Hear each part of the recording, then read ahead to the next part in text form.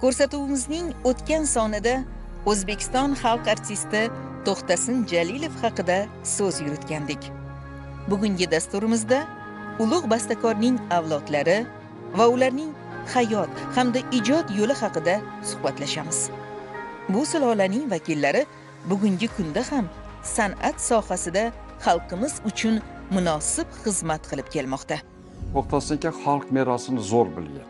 Chunki vodiy toshkent vodiy yo'llari deymiz.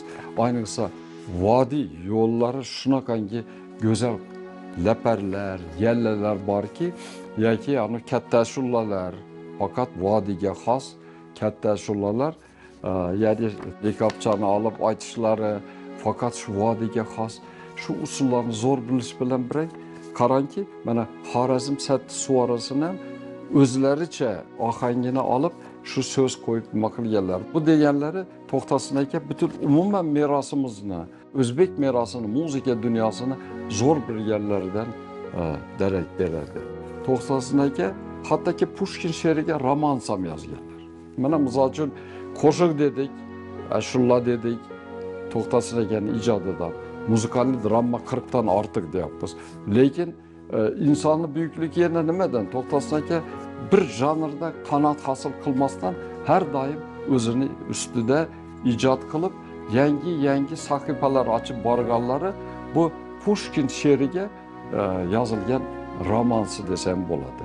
Shu romans janriga ham qo'l urganlar va to'xtasin jalilov yana e, opera janriga ham qo'l urganlar.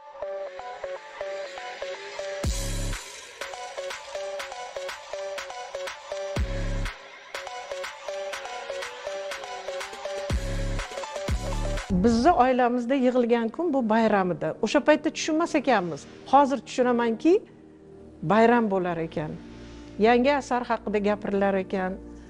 Yangi mm, ijrochilik haqida gapirilar ekan. Qanaqadir muzikani sayqallash to'g'risida gapirilar ekan. Lekin mana yillar o'tib man bir mashhur bir odamni bir bo'lagi bo'lganimni tushundim. Mani tug'ilishimda mani otimni obdaxon qo'yilishida opodamni katta roli bor ekan. Mana shu zalda maylis bo'layotgan ekan muqimiy asarini e, rollarga bo'lish ham uni mm, mm, rolga bo'lib o'qish paytida e, kelib xabar kelgan ekan. Salohiddin qizli bo'ldi. Usta e, nevara qiz muborak bo'lsin o'zingiz otini qo'yasiz degan ekanlar. Shunda e, opadan o'ylamasdan turib obdaxon bo'lsin deganlar. Obdaxon bu muqimiyni juda hurmat qilgan yaxshi ko'rgan yetolmagan afsuski butun ko'p asarlarini shu ayolga bag'ishlagan e, shoira ayol bo'ladi.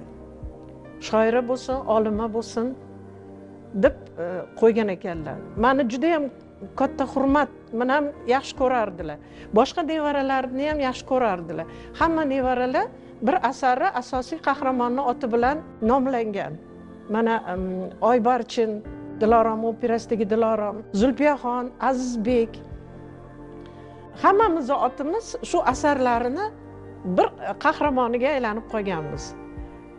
O'shaning uchun man nurxon tohir zuhra e, ravshan zulhumor gulva navro'zdagi hamma ashulalarni man o'zimga singdirib olganman. Bu maniki ekan deb.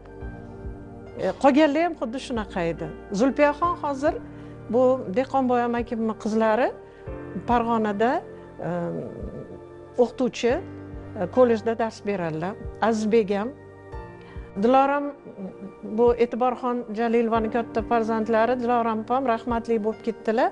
Oybarchin u kishi ham dars beradilar. Azizbek u kishi ham dars beradilar.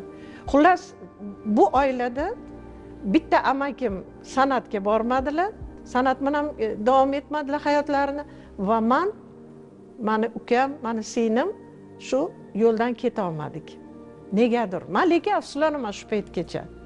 Ba'zan hazillashib aytib qo'yaman ayamga aytardim rahmatli bo'lib ketdilar. Mm, e, siz e, o'zbekiston xalqini bitta mashhur ijrochidan mahrum qilgansiz deb hazillashardim. Lekin buni ichida qanchalik haqiqatan bor? Lekin qalbimda bor va ashulalar buyuk ijodkorlarni umri ular o'tib ketgandan keyin boshlanadi degani nihoyatda to'g'ri. To'xtasin jalilovni umrlari ular o'tib ketgandan keyin haqiqiy hozir mana ichimizda kezib yuribdi.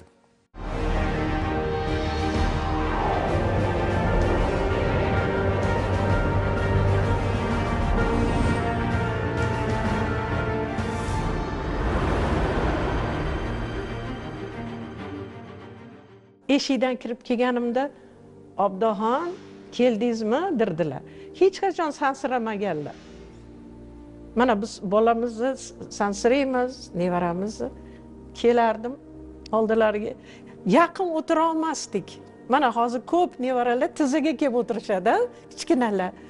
Borib mm, boshini yelkasiga qo'yadi. U kishini salobati bor edi. Aurasi bor edi. Qanaqadir o'ziga tortadigan bir magniti bo'lardi. Oldilarida o'tirardik. Ko'zlariga tik qarab gaplashmaganmiz. Shunchalik bizni uyimizda hurmat bilmayman shu bo'lsa kerak. Gaplariga hech qachon qaytarilmasdi gap. Oxirigacha eshitilardi. Keyin darsingizni qildingizmi? Bekor o'tirmang degan gap yo'q edi u kishini tillarida. Sizga nima ovqat qilib qo'ysin? deb so'rardilar. Opadajon nima xohlasangiz man sizdan keyin yeyman dedilar. Bir marta yoshligimda aytgan ekanman hozir esimga tushib qoldi. Mm, u paytda kosalarimiz katta katta bo'lardi. Hozirgi kichkina kosa emas katta katta kosalar lag'mon qilishgan edi kelinlar lag'mon yedilarda shu uch to'rt qoshiq qoldi. Endi ichkilari kelmayaptimi? Mundoq qarayaptilar. Man juda sezgir edim opodamni sevardim. Bilasizmi? Sevardim. Opadajon shu kosangiz qolganini man ichib qo'yay dedim. Oling oling dedilar. Olib ichdimda hamma qarab turibdi. Keyin ammam ha mashhur kompozitor bo'lmoqchimisan deganlarida yo'q man mashhur kompozitorni nevarasi bo'lmoqchiman deganman. To'xtasin jalilovning to'ng'ich o'g'li xolxo'ja to'xtasinov ham mohir g'ijjakchi. Dirijor bastakor sifatida tanildi. Ijodkor xalqimizning sevimli xonandasi o'zbekiston xalq artisti saodat qobulova bilan hayot yo'lini bog'lagan. Ularning ikki qizlari ham musiqa yo'lidan bordilar. Xolxo'ja to'xtasinovning qora ko'zlar aylagach asarlari saodat qobulova uchun maxsus yozilgan edi. Dadam askarchi edi mani ham aytishadi san ham askarni yaxshi ko'rasan gapirasan. Endi bu dadamdan onamdan. Judayam bular gap qilishardi choyxonada o'tirishardi chiroylikini o'tirishardi. Judayam askarni yaxshi qilishardi. Pardali qilib chiroyli qilib hech kimni xafa qilmasdan chiroyli qilishardi. Judayam yaxshi edi.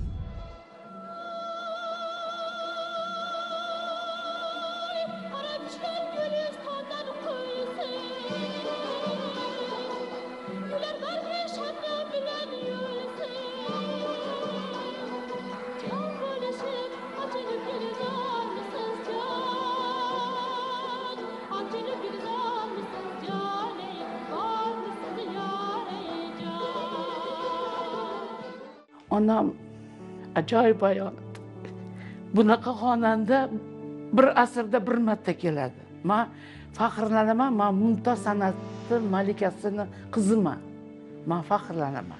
Chunki bilasizmi bu shunaqa ashulachiki shunday xonandaki operani ham aytgan maqomni ham aytgan. Bilasizmi hozir bunaqa yo'q ashulachilar. Yo'q. Hamma narsani aytar edi doimo eshiklari ochiq dasturxonlar tayyor. Bir pilla choy ichmasdan ketmasin deysiz bilasizmi? Doim eshigimiz ochiq edi hammaga yordam berar edi bilagi keng edi dodatxonni qizi kelyapti deb to'xtasinjalik nevarasi deyishadi. Man faxrlanib xursand bo'laman.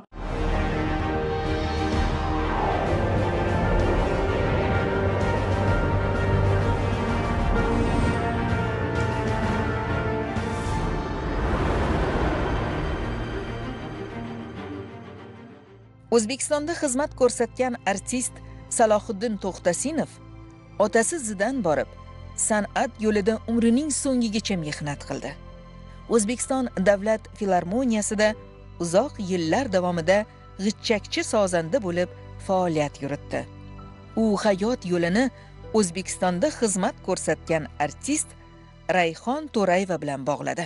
Mani ota onam salohiddin to'xtasinov rayhon to'rayeva toshkentda uchrashishgan. Ikkalalari ikkita oblastdan kelib dadam andijondan ayam e, buxorodan kelishgan.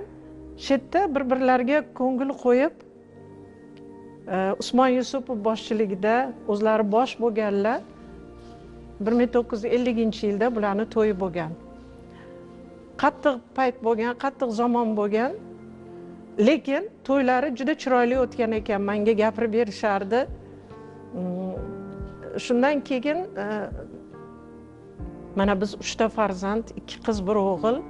Afsuski singlim o'tib qolgan e, ukam bilan man bormiz. Biz san'at yo'lidan bormadik. Bilmadim nimagadir e'tibor bo'lmadim lekin e, opa dadamiz dadamga aytgan ekanlar salohiddin obdaxonga e'tibor bering degan ekanlar. Mana ashula aytganimni eshitgan ekanlar. Biz har doim opodam uylariga kelganimizda hamma o'g'illar kelinlar nevaralar yig'ilardik katta zallarida pianinolari bo'lardi. Kimdir o'tirib chalardi kimdir ashula aytardi man endi o'sha paytda oilani solistkasi bo'lgan ekanmanda man aytardim ashula. E'tiborxonim jalilovani hamma asarlaridagi ashulalarini aynan qilib aytardim chunki mani umrim mani yoshligim shu teatrda o'tgan. Oyog'im shu teatrni sahnasida yurib ketgan ekanman chiqqan oyog'im. Keyin mani yaxshi ko'rgan joyim e, chap tarafdagi kulis. O'sha yerda turar ekanman. Hamma ashulalarni yodlaganman. Butun qaysi asarda qaysi ashula qaysi ariya bo'lsa hammasini yodlar ekanman. Shunda opam aytgan ekanlar. E'tibor bering deb. Lekin nimagadir e'tibor berishmaganmi?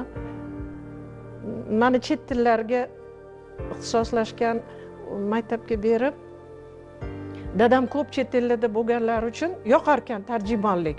Siz tarjimon bo'lasiz mani o'ziz o'zim bilan olib yurasiz birga butun dunyoni kezamiz derdilar. Afsuski bu bo'lmadi. Man o'qib bitirgunimcha u ancha yoshga borib qoldilar.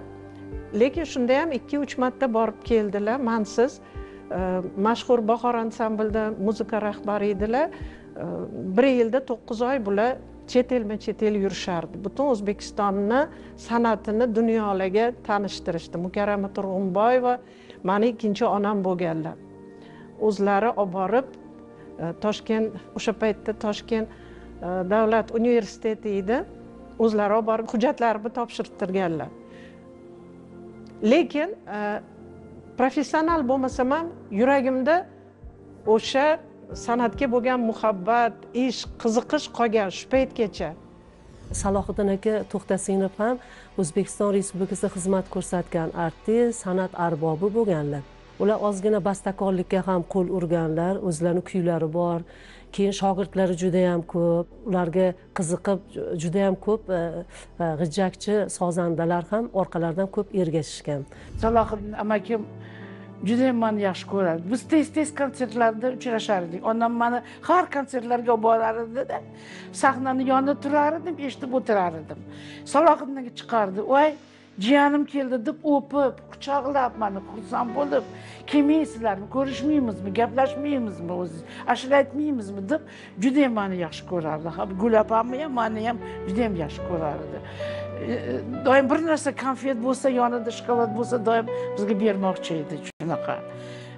Ular judayam hurmatli odam edi. Man judayam hurmat qilardim salohiddin akani judayam ertak ketdi u ham bechora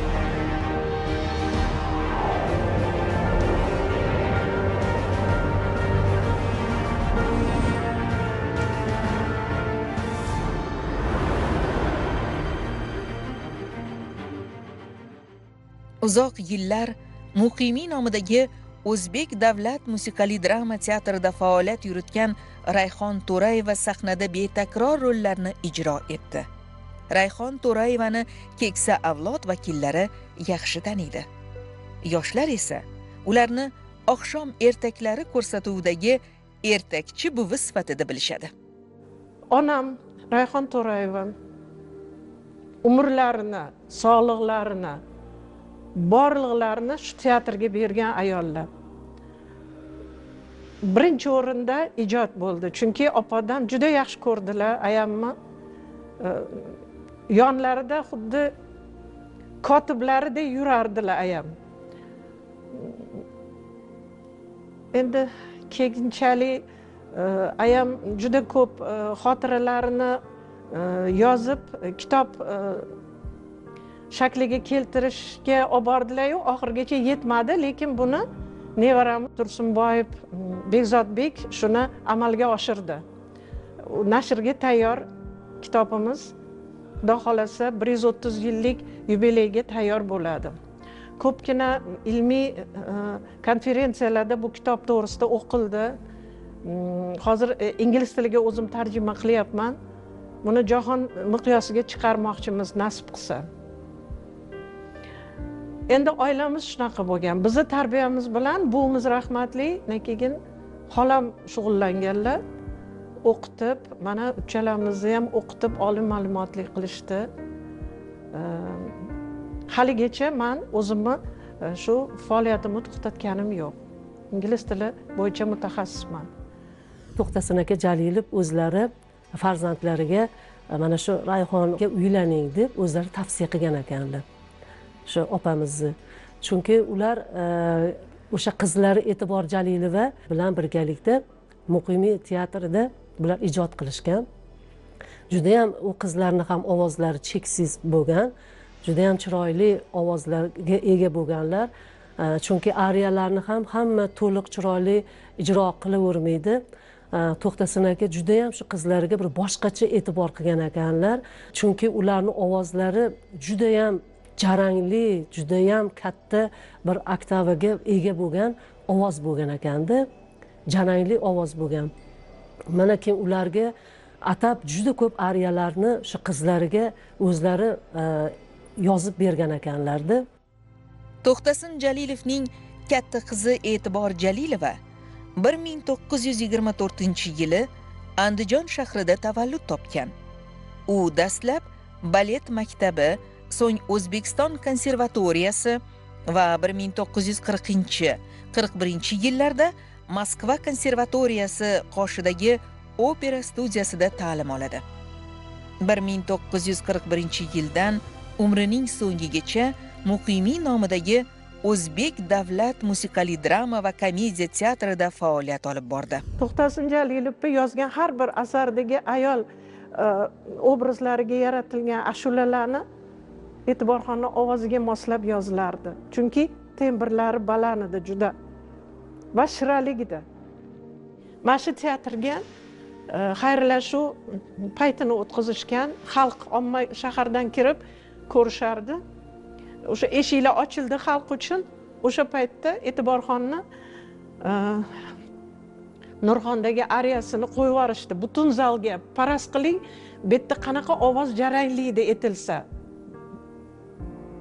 baland ovozda shu ashulani qo'yishdida man u holatimni sizga aytib berolmayman lekin yuragim joyidan chiqdi deb o'yladim. Chunki shunaqa dard bilan aytganlar bu ashulani. Bu ko'pincha e, tinglovchilar televideniyada radioda eshitishadida qo'shiq sifatida eshitishadi.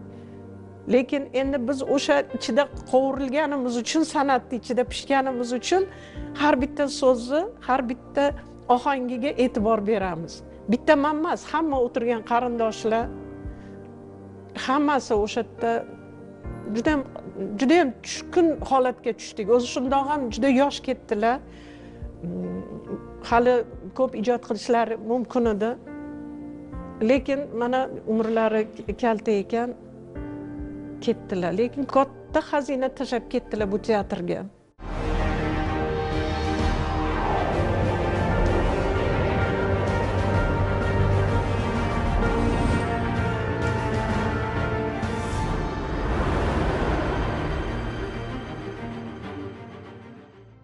Aktrisa va xonanda tohir va zuhra musiqali dramasida zuhra mavlono muqimiyda obida. Nurxonda nurxon ravshan va zulxumorda zulxumor paranji sirlarida xolisxon gulisiyohda bibi gavhari shamchiroqda hadicha kumushto'yda fazilat g'unchalarda nigor ajab savdolarda ozoda kabi bosh rollarning ijrochisi va o'zbekiston radiosining oltin xazinasida saqlanayotgan bahor ayyomi oshkor aylar va boshqa go'zal qo'shiqlarning mohir ijrochisi sifatida xalqimizning xotirasida yorqin iz qoldirdi. E'tibor jalilova 59 yoshida 1983 yili vafot etdi. E'tibor ammam bor edilar. Muqimiy teatrda ishlar edi. Judayam chiroyli ovozi bor edi. Judayam chiroyli aytar edi. Ko'nglimga yaqin olar edim. Onamni judayam hurmat qilar edi judayam yaxshi ko'rar edi. Saodatxon saodatxon chiroyli ayolsiz chiroyli ovozingiz judayam hurmat qilishar edi. Xolida amma ham e'tibor amma ham judayam yaxshi ko'rishar edi. Endi man kichkina edimda man. Bir marta teatrga olib borishdi mukimida eshitdim maza qildimda ko'nglidan chiqarib aytardi ovozi chiroyli edi judayam. E'tibor opam rahmatli sahnaga chiqishdan oldin hech kim bilan gaplashmasdilar. Shunaqa pig'illari bor edi. Mana shu obrazda turardilar sahnani chetida. Xuddi shunaqa mahmudjon akam ham shunaqa edilar. E'tibor opamni ovozlarini oxiri yo'q edida shunaqa zo'r ovozlar. Mana shu go'rda teatrimiz ochilishi bo'lsa e'tibor opam butun bosh qahramonni o'ynaganlar teatrda. To'xtasin jalilovning kenja o'g'li mashhur o'zbek dirijori bastakor o'zbekistonda xizmat ko'rsatgan san'at arbobi dehqon jalilov 1930 yili andijonda tavallud topgan. Ijodkor avval hamza nomidagi toshkent musiqa bilim yurtida xor dirijorligi bo'yicha tahsil olgan. Keyinchalik moskvadagi o'zbek opera studiyasining simfonik orkestr dirijorligi bo'limini tamomlagan. Bastakor umrining so'ngigacha farg'ona musiqali drama va komediya teatri dirijori bo'lib ishladi. Hamda o'zbekistonda xizmat ko'rsatgan artist unvoniga sazovor bo'ldi. Dehqon jalilov otasining saylanma asarlari to'plami qo'shiqlar guldastasini kitob holida nashr ettirgan. Dehqon akani kam ko'rganman. U farg'onada turganda judayam chiroyli odam edi judayam bo'ylari baland chiroyli edi judayam e, vazmu og'ir madaniyatli judayam shunaqa odam edida. Yaxshi odam edi judayam yaxshi. Esimda shunday gavdasi turibdi shunday ko'zim oldida dehqonboy jalilov e, hamza bilim yurtini tugatib moskvada ham o'qib kelib e, o'zlari shu umrlarini oxirigacha dirijorlik qilib kelgan va dehqonboy akam har doim ajoyib kuy qo'shiqlar ko'plab muzikalniy dramalar yozib shu ota nimasini davom ettirganlar dehqonboy jalilovni bilan bizlar qarindoshamiz ya'ni e, u kishini e, qizlarini e, oilamizni ukasiga to'y qilganmiz shuning uchun bizlarni ozgina qarindoshlik tomonimiz ham bor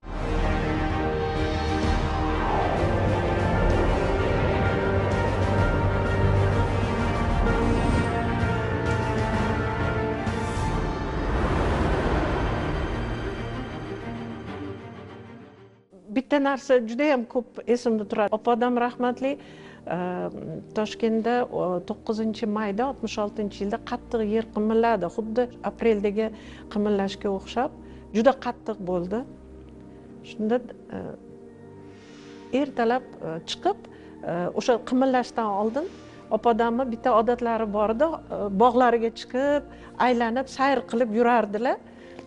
O'sha paytda ilhom kelar ekanda yaponiyadan atirgul olib kelishgan o'shani ekib qo'yishgan. Shuni har kuni kelib qarab qo'yar ekanlar. O'sha yapon atirgulini oldida turib shu bagiga tegganlarmi yo guliga tegganlarmi o'sha yerda jonlari uzilgan.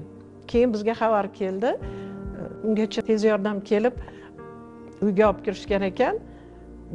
Shu barmoqlarida atirgulni zirabchasi bo'ladiku. Bitta zirabcha shundan kirib qolgan ekan.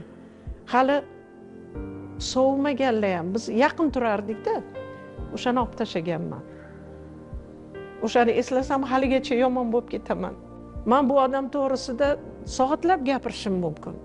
Shularni gapirgandagi ovozlarini jarangi o'zlarini mm, juda sokin tutishlari hurmat bilan gaplashishlari hech qachon shoshilmasdan ovoz ko'tarmasdan kattami kichikmi begonami tanishmi hamma bilan bir xil gaplashardilar.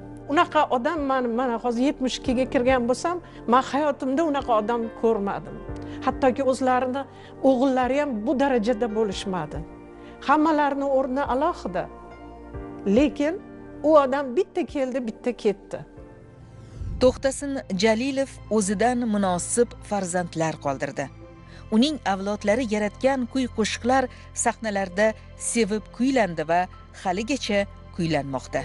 Ular yaratgan asarlar uzoq yillar davomida xalqimizning qalbida yashaydi va takror takror ijro etiladi. Vaqt o'taveradi yorqin xotiralar qoladi yangi hodisalar ro'y va bo'y ko'rsataveradi. Saboqlari oltin xayrli xotiralargina zamonlar osha go'zallik bo'lib